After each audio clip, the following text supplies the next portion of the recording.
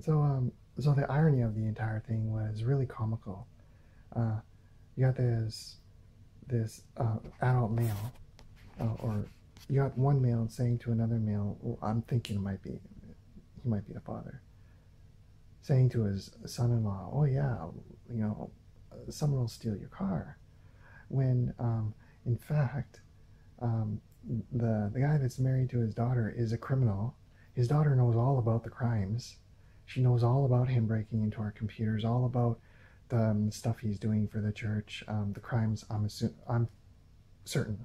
I'm not assuming anything. I'm certain that he does these with the blessing of the church, with the Anglican Church, with the blessing, um, and uh, with the design, exactly to do this. And I think that the um, this is crazy that um, there could be so much deception. So is the father-in-law really deceived?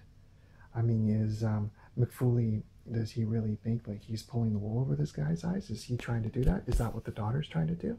Does the father-in-law know anything about this? So why the game?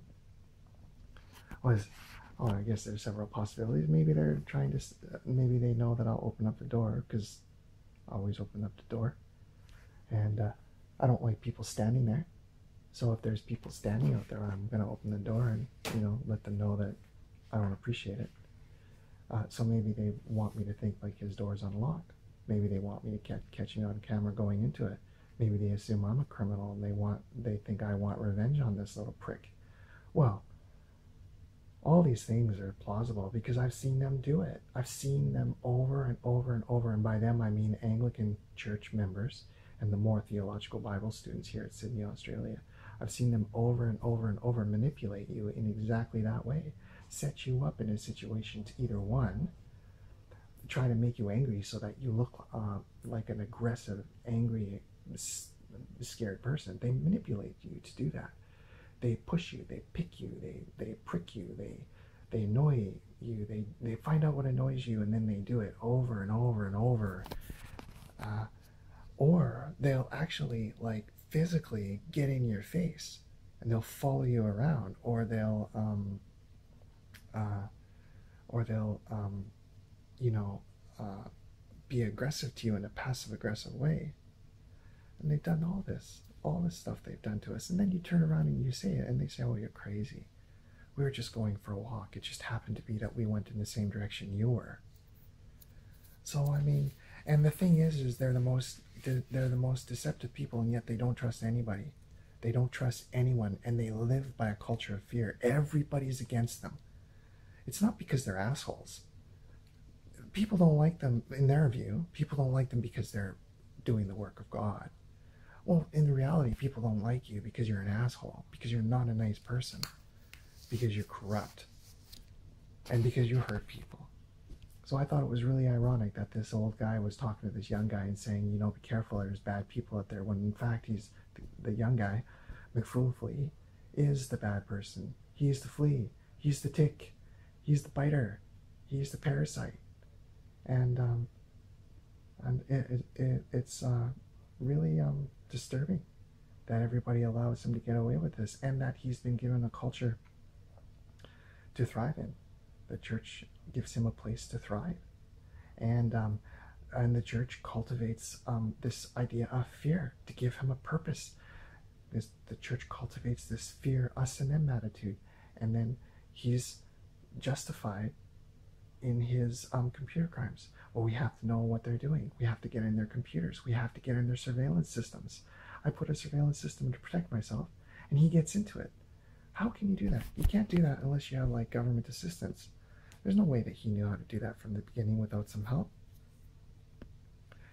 So I'm so now we're at the point where they got into our surveillance system. Now, now um, uh, it really looks a lot to me like the government's involved.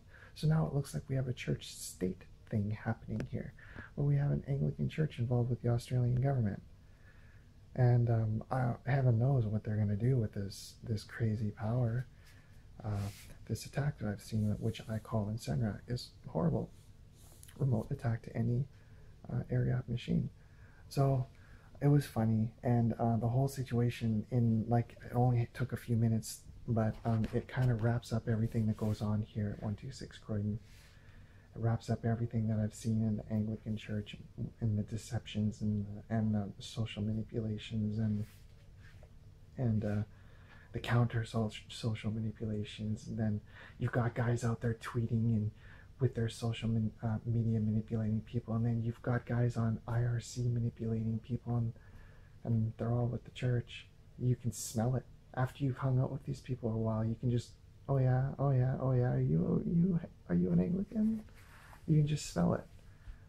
Um, it's really really disturbing how much power these people. It's really disturbing what they're, what it looks to me. All the evidence looks to me like they're they have a certain agenda and they're pushing that in society. And as far as I can see, their agenda here at 126 has been to con completely control our um, um, um, communications and computers. And uh, um, the manipulation outside tonight, whether it was an accidental manipulation, manipulation or like a manufactured manipulation, it really doesn't matter. It's still a manipulation. He's being, he's manipulating he's constantly manipulating. Whether he know whether the old man knows that he's being manipulated or not is another question. I'd have to ask him. But even if I did ask him that, he would defend his his son-in-law, brand new baby coming into the world. He's not going to say no. He's not going to stop and think, oh yeah, maybe you got a point. No, he's going to protect the kid and uh, it'll keep going on. And that's what McFoolfley does. He hides. He hides in the church, and he hides behind the power of the church. And then he has, he's got a he's got a few skills there, and he that's what he does. He he offers the church his services, and the church lets him do what he wants to do, lets him be a criminal, lets him be a little psycho criminal, and they cover up for him.